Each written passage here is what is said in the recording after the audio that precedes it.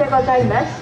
全長喜入隆さんをはじめ80名の皆さんです。昭和39年に全部結成し今年で55周年を迎えます。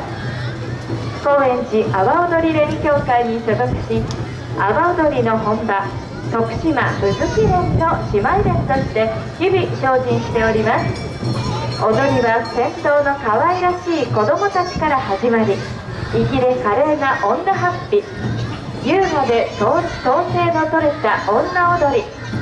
笑顔で巧みに内輪をさばく男踊り。そして情緒あふれる鳴り物が心も体を震わせます。ご覧ください。これが本場徳島を目指すちょっところんです。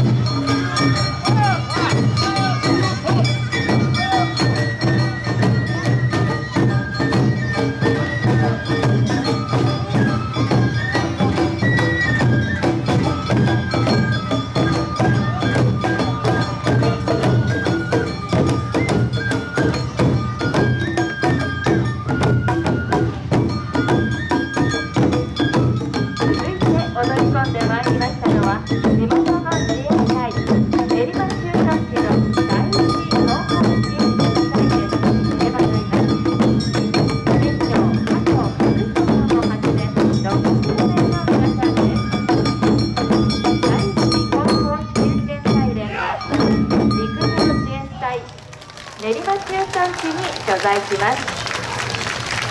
第一